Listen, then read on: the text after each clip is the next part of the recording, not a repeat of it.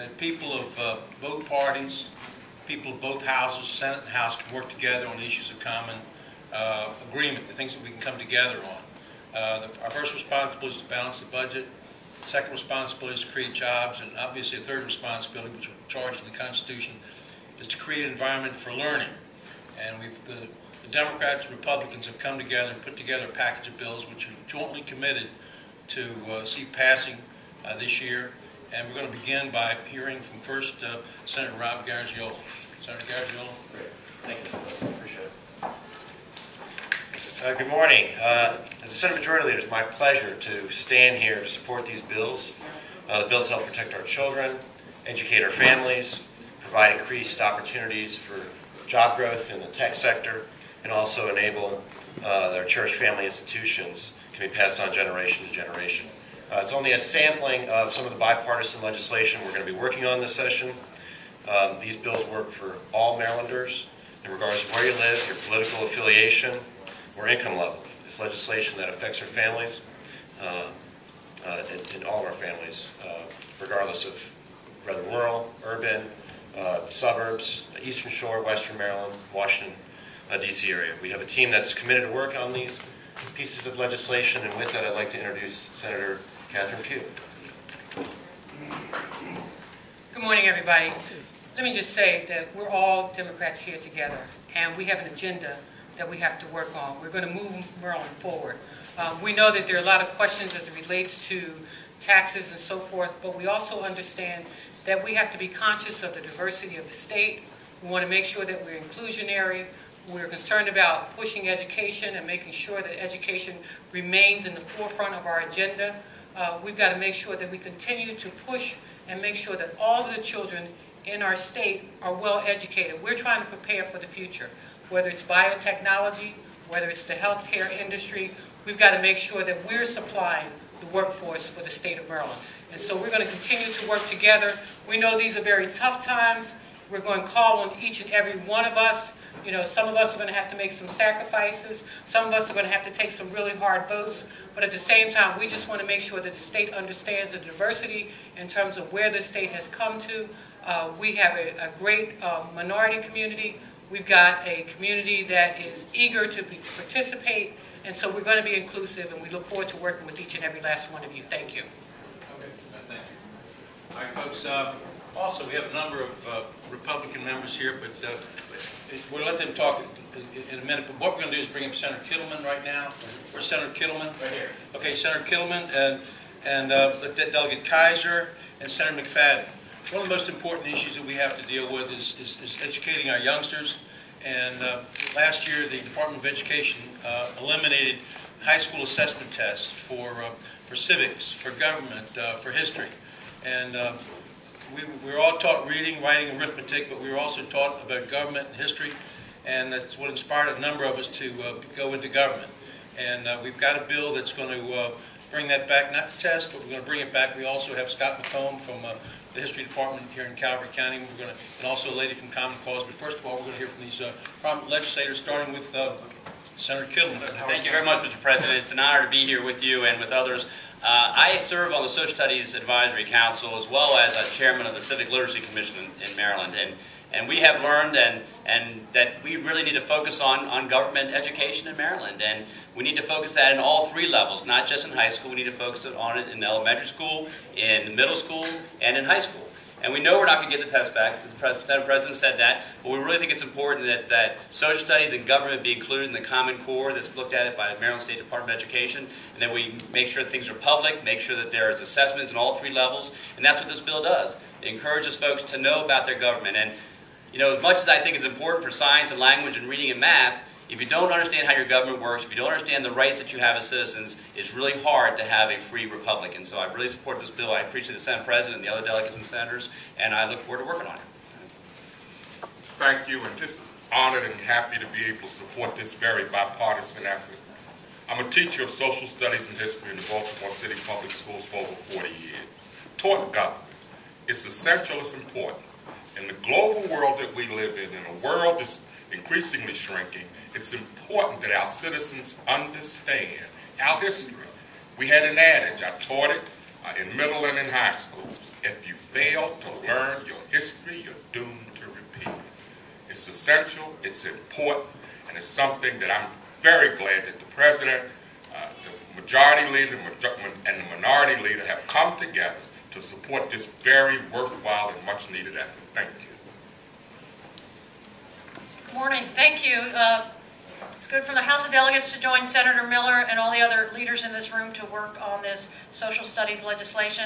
I think much that's already been said that is so important. I think, again, that uh, enhancing our social studies instruction helps with civic engagement, it helps with global awareness, it helps with, helps with our civic literacy, and I look forward to working with others for all the reasons already stated of this important legislation. Thank you. Okay, Susan Whitman, Common Cause, and also Scott McComb, uh, Department of History, Calvert County, please come forward on this important issue. Hi, I want to thank all of the, the leaders in the General Assembly who have supported this. Common Cause is an organization that works for um, good government, for transparent and open government, but we also work on issues that really go to the core foundation of our democracy. And having an educated electorate and citizens that know how to engage in um, with their government and understand the issues that um, they have to vote on and that are being decided is critical to having a solid democracy. So we believe that it's critically important for Maryland to make sure that its students are educated so that they graduate as adults ready to fully engage in their democracy. Good morning. Uh, I'm Scott McComb, and I'm with the Maryland Council for Social Studies. Um, Up until about a decade ago, uh, social studies was always considered one of the four core content areas. That was true in any statewide standard setting, and it was true in all assessment programs.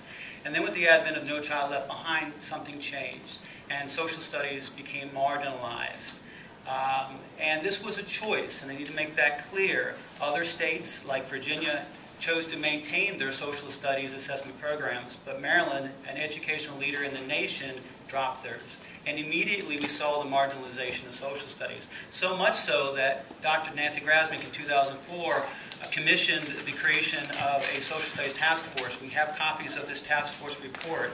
Suffice to say, they found some pretty startling statistics, many more than I can list here today. But I will tell you that among those, it was found that social studies lost more instructional time in elementary school than any other discipline, including art, music, physical education.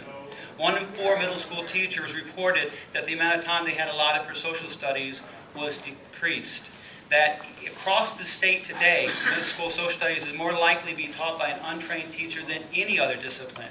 And students in high poverty areas have seen the greatest reduction in instructional time. Many of these students at the elementary level receive no, no daily social studies instruction.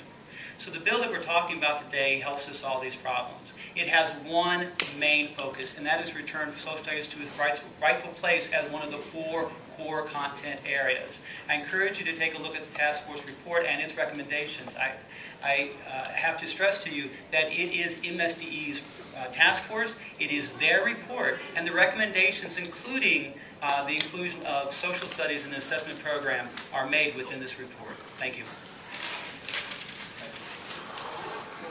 One of the areas of unanimity we're going to find this, this session in terms of uh, cutting taxes is uh, with regard to uh, farmland uh, that's passing from one generation to another. You know, when a, when a farm, when a person owns a farm passes, so often the farm is lost to uh, congestion and to sprawl. Uh, Agriculture continues to be the number one business in the state of Maryland. If you have a, a family farm, children grew up on the farm, there's often a great tendency for the children to stay on the farm and to protect the environment. Um, To talk about this issue, we're going to bring forth uh, Senator Ron Young, who brought this uh, issue forward last year and continues to push this issue this year. And also, we're going to bring up, but to show unanimity, stand behind him, we're going to have uh, two gentlemen uh, of different parties, uh, both contesting for the same position in Western Maryland. Uh, Senator Brinkley, come on up here, and Senator Garagiola. They're going to stand behind him, and, uh, and uh, all three are going to talk about uh, why it's important to save the family farms. Uh, Thank you, Mr. President. Before I uh, begin, as a former political science major and- and teacher, I'd like to jump on and agree with what was said uh, previously. And as a former mayor, I've naturally had most interest in urban areas. But Frederick County is the largest county in the state, and we have a huge amount of farmland which we're seeing lost each year. And it's become very difficult to pass the farm from father to son or father to daughter, or even from one owner to, to the next because of the taxes imposed on it. So this bill is uh, excluding the tax on farmland up to $5 million and then reducing the amount from 16 to 5% above that so that the farm can stay in farming and can be actively uh, farmed in the future, which is the major interest in, in the bill. Uh, non-farm items will still be taxed at 16%, uh, over a million dollars, but the farmland taxes will be greatly reduced. And hopefully, uh, in addition to keeping farming alive, it's also one of the best land protection uh, policies. If we keep the land in farming, we're protecting it from development. But uh, most important of all, we want to keep our farmers active. It's still, I believe, the major uh, employer in the state, farmlands across the state. We need to protect and preserve that.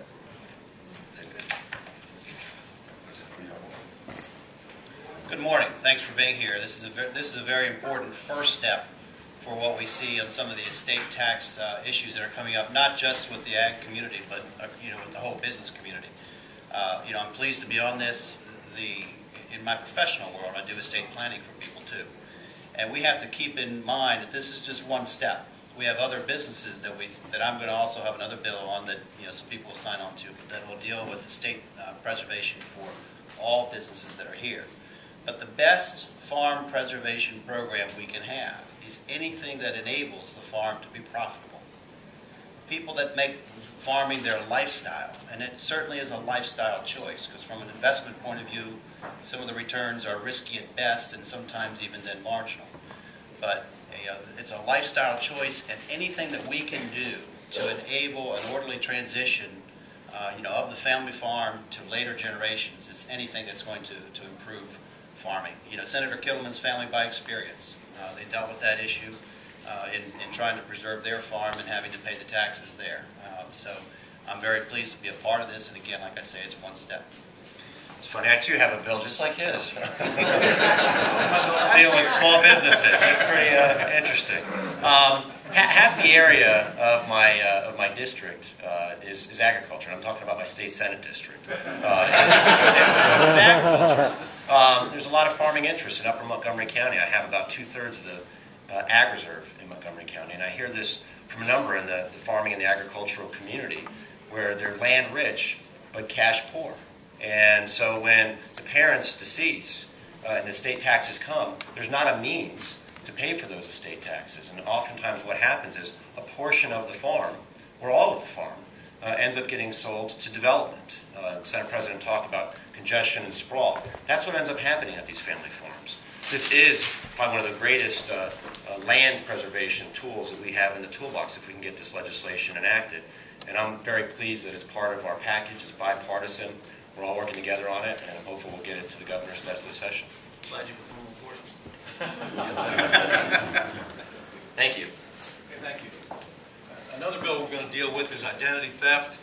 Uh, It's become very, very uh, uh, too common for, for, for our young children to have their identity stolen before, some before they're even able to walk, some before they're even able to accumulate debt of their own, and we have a bill to protect that. Senator Astle is the principal sponsor, but because of his father's passing, he will not be able to be here. We're going to have uh, Delegate uh, Zucker and first of all, Senator Kathy Klausmeyer come up and explain the bill. Thank thank you, Mr. President. Uh, We we we have had the opportunity to talk about social studies and farming, and uh, but child safety for identity theft is uh, very, very prevalent. Uh, 1% of the adults in this country, or I guess in this world, uh, have identity theft. 10% of children do. Sometimes it's even babies, five months old, that have their identity taken away through the social, through their social security numbers. And it is very, very important that we pass this legislation because what happens if an, if an adult tries to find out their credit report on their child, uh, that goes against them. So, when I say it goes against them, in the end, uh, when they actually get their credit scores, when they're old enough, their credit scores are not all that good because the parents called too many times, which is ridiculous. So I think we're really going to work on this, and I'm going to let Delegate Zucker say a few words, and we'll go from there. Thank you very much, Senator. Uh, It's a great honor to be here today as the House sponsor of this great legislation on the House side. I want to thank uh, Senator Miller, Senator Astle, and Senator Klausmeyer for their outstanding leadership on this issue. I also uh, want to thank more than 30 of my colleagues on the House side who have co-sponsored this legislation in a bipartisan way. Uh, With the economy being the way it is today, uh, it's easy to realize that a, a good credit score is important when it comes to purchasing a home, uh, obtaining a loan. And, uh, you know, today when I was leaving my house, I grabbed off my dresser a picture of my son, who's two and a half years old, a picture of his class. And when I was looking at it, I realized these are children who are trying to establish their own identities, becoming their own people. And uh, I'm thinking when they become the certain age that they can establish their own credit, let it be the identity that they created for themselves and not the identity that was created for them through the means of fraud. And this is, this is a national issue, as the senator was mentioning. Over 140,000 children throughout the United States have had their identity stolen each year. And this is an opportunity for us to let our children in the state of Maryland start with a clean slate and make sure that they have every shot of being uh, successful. I look forward to working with my colleagues in the Senate and the House to trying to make sure that we continue to protect the most vulnerable in our state. Thank you. We also have uh, the head of the Consumer Protection Division from the Attorney General's Office, Mr. Steve Sakamoto. Wengel, please. Mr. Wengel. Um, Thank you very much, President Miller. Um, The Attorney General's office is very concerned about identity theft and also very concerned about protecting children in Maryland. And we believe this measure will help to prevent children from becoming victims of identity theft. Um, We look forward to working with um, Delegate Zucker, with President Miller, with Senators Klausmeyer and Astle on getting this important law enacted and uh, hope to be able to protect Maryland children from becoming victims of identity theft. Thank you. Thank you. Uh, Also, in part of our job creation package, we have Senator Roger Manno. Where's Senator Manno? Uh, He's going to explain why it's important to uh, have people who can afford to take jobs because of security clearances. Senator Manno. Thank you, Mr. President. Uh, Good morning. Uh, The message behind our- the security clearance bill that we're introducing uh, today is that Maryland is open for business. And uh, for the vast number of federal and state contractors um, of a high-security, IT, defense, uh, uh, high-tech nature, uh, we're making a sizable investment uh, this morning in those workers and those contractors uh, by creating a tax credit to assist them in expediting security clearances. As many of you know, uh, we represent across the state, not just in the DC metro uh, area that I represent in Montgomery County, but also in, for example, Senator DeGrange's uh, uh, area uh, with NSA and, and uh, Fort Meade, um, a huge number of jobs and potential jobs. Uh, and we want to ensure that those jobs are going to Maryland workers and that those workers have the tools that they need, the opportunities uh, that we can give them to be successful to compete for those jobs. And uh, the challenge is providing some assistance on the state level uh, in being able to apply for and expedite those security clearances. As you may know, they're extremely expensive, uh, and uh, those who are able to, to obtain those clearances are at a huge competitive advantage uh, over other workers. So again, uh, Maryland is open for business. We're making an investment and a statement today as to um, the kind of businesses that we want to see in the state of Maryland uh, for the next 50 years. Highly skilled, high-paying jobs uh, uh, with critical uh, strategic applications for the federal government uh, and the, both the public and the private sector. And I think that this bill will go a long way in, uh, in doing that. So thank you. Lastly but not least, I mean, these bills have both Republican and Democratic sponsors, and uh, we want to congratulate and thank this, you see a array here of Democrat and Republican members that, uh, that feel that these bills are important. Let me bring up uh, Senator Garagiola, Uh, Let's explain this last bill, why we we want to recognize our veterans, especially those who are serving in Af- Afghanistan and Iraq, and also the head of the Veterans Caucus, uh, Senator Peters.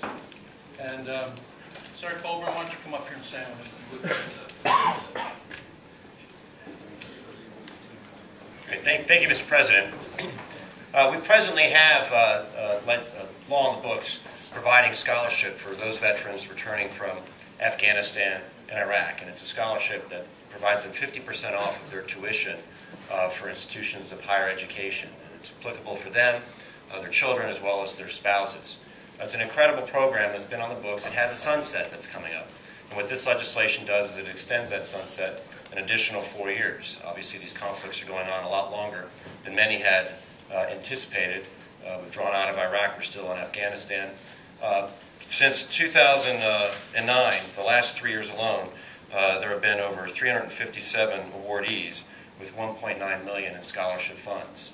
Uh, These veterans and their families are sacrificing so much to serve this country, and uh, I feel this is the least we can do to make sure that they have a leg up in getting a higher education and be able to move up that economic ladder themselves. So with that, I'd like to turn over to the chair of the Veterans Caucus, uh, Senator Peters.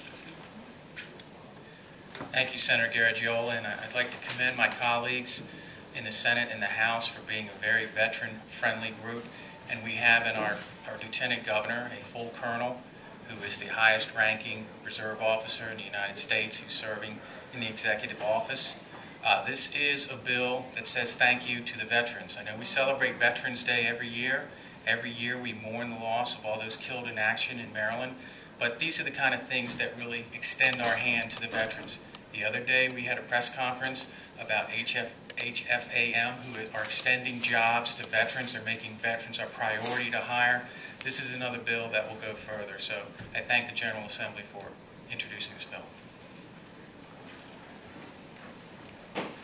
A nation, a state that forgets its veterans will itself one day be forgotten. Let us never forget our veterans. Thank you. Folks, that concludes our press conference. Uh, Basically, uh, we just want to show that it contrasts with what's happening in Washington DC. Honestly and truly, this is, we're, we're of the people, by the people, and for the people. We're local people. We go home every night. Uh, We have jobs outside the General Assembly.